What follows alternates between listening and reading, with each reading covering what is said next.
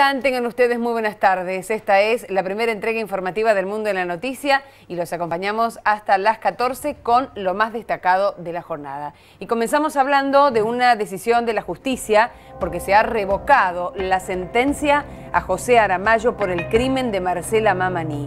José Javier Aramayo, el hombre que en enero de 2016 fue declarado culpable de la muerte de la joven Marcela Mamani, fue dejado en libertad por la Sala 3 del Tribunal de Impugnación.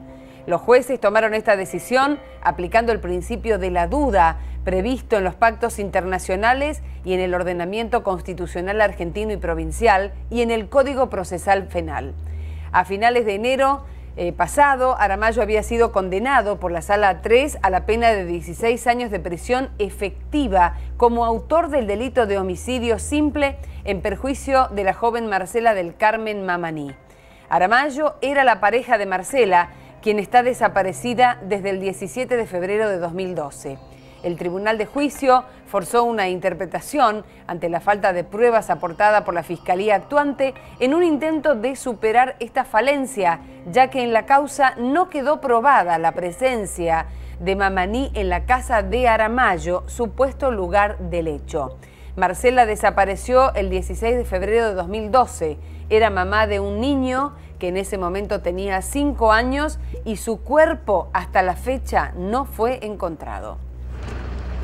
Fue revocada la condena por el Tribunal de Impugnación Sala Tercera, lo cual este, no hemos anoticiado. Si bien es cierto, no hemos sido notificados todavía de tal temperamento, hemos recibido con mucho beneplácito tal noticia. Eh, por dos circunstancias principales. Primero, por este, la absolución de mi defendido, este, por el beneficio de la duda, y en segundo término, por este, la valentía y la independencia que ha demostrado el Tribunal de Impugnación a los efectos de hacer lugar al recurso de casación interpuesto y absolver, como le decía, por el beneficio de la duda, a José Aramayo. ¿Está libre ya? Efectivamente, hace una semana de que él ya goza de su libertad.